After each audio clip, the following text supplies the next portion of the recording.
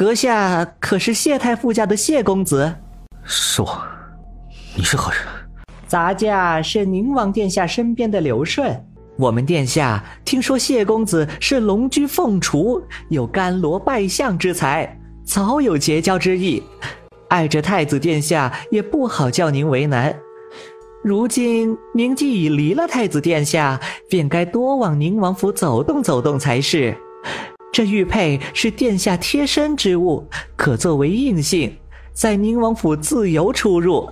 过不了几日，谢之方将养的差不多。登门拜访宁王，二人相见恨晚，把酒言欢，说不出的投契。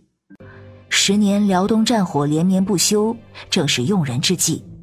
他舍出几百万两银子，填补了江南的亏空。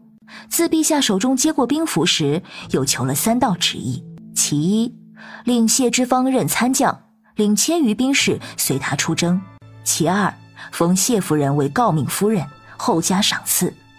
其三，封会和县主为公主，志在必得的如花美眷成了名义上的妹妹。季温瑜怒气更甚，气得头疼了一整夜，只好将迎娶谢之珍的事暂且放下，全力筹谋皇位。啊，他要去从军是不是？你们全都知道，只是瞒着我一个。千错万错，都是奴婢们的错。圣旨前几日便传了过来，因着小姐生病。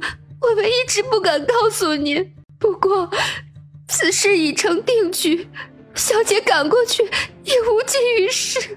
谢之珍充耳不闻，用尽仅剩的力气推开他，恍恍惚惚的往门外走。